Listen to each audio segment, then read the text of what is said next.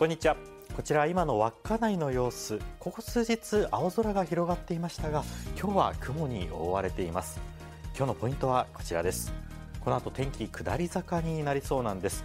夜は宗谷地方で大雨になる予想です。では雨雲の予想も見ていきましょう。今日午後6時。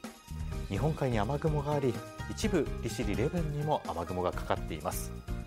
明日朝にかけて動かします。夜は特に東北を中心に活発な雨雲がかかりそうです。雷を伴い激しく降るところもあるでしょう。土砂災害や低い土地の浸水河川の増水などご注意ください。明日朝になると道東の一部雨が残りますがその他は天気晴れるところが多くなりそうです。では今の札幌の様子です。大通公園では明日からオータムフェストが始まります。今日は大きな崩れはなさそうです。午後の天気です。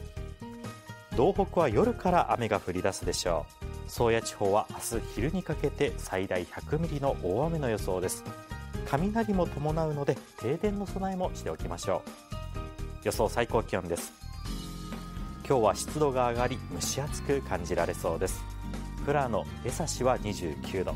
旭川札幌函館は28度の予想です。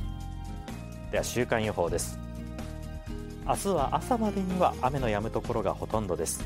ただ午前中を中心に北西風が強く吹くでしょう。日曜日は局地的なにわか雨にご注意ください。太平洋側です。明日は釧路や根室で朝は傘が必要となりそうです。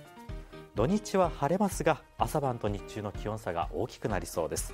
帯広は日曜日の最高気温31度の予想です。